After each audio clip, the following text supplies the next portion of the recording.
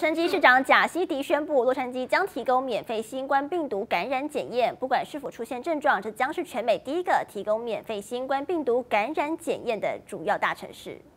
洛杉矶市长贾西提二十九号宣布，洛杉矶是全美第一个这样做的主要大城市。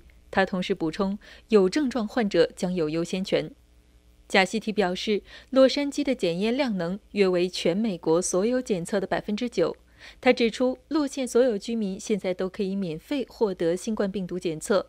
该测试仅通过预约，由洛市与洛县及社区组织的救济活动合作提供。截至四月二十一号，全县共有三十五个检测试点。截至目前，在加州，只有具有症状的居民、有必要活动的商家员工以及诸如疗养院之类的机构的人员才能接受测试。官员们表示，扩大测试范围对于更好地了解有多少人感染该病毒至关重要。这些数据可用于是否放宽居家令的限制。根据新的指导原则，仍将优先考虑具有发烧、咳嗽或呼吸急促等症状的人进行当天或次日的检测。测试还将优先考虑与公众互动的某些关键前线工作者。据悉，加利福尼亚州的伯利纳斯镇是第一个向居民提供广泛测试的城镇。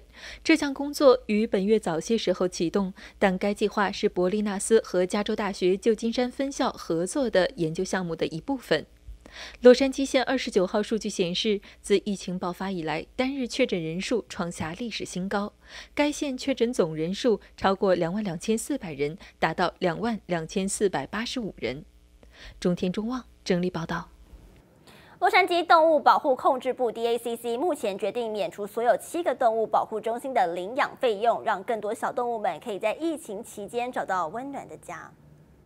So, uh, new to the Department of Animal Care and Control, uh, with our adoption process, uh, in light of the current situation, uh, we are operating by appointment only. So, uh, during this time, we currently have uh, fee waived adoptions uh, to help promote animals leaving our care centers, thanks to our uh, partners and a grant uh, made possible by the Petco Foundation.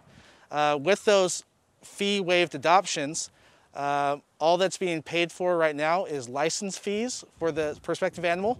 And uh, if the animal is unable to be altered prior to leaving the shelter, there's a trust deposit fee that's uh, refunded once the animal is brought back for that surgery.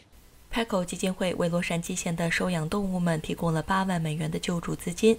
这笔资金不仅可以减免领养费用，而且还能够应用在各种其他的救生措施，包括购买必要的医疗设备、与兽医伙伴合作，为收养中心的宠物们提供超出医疗项目常规能力的广泛医疗服务。洛杉矶县动物保护控制局的主任表示，因为人们坚持更加安全的居家要求，很多人可以花一些时间养一只新的宠物。在洛杉矶县，如果您决定要收养宠物的话，必须先要预约当地的宠物护理中心。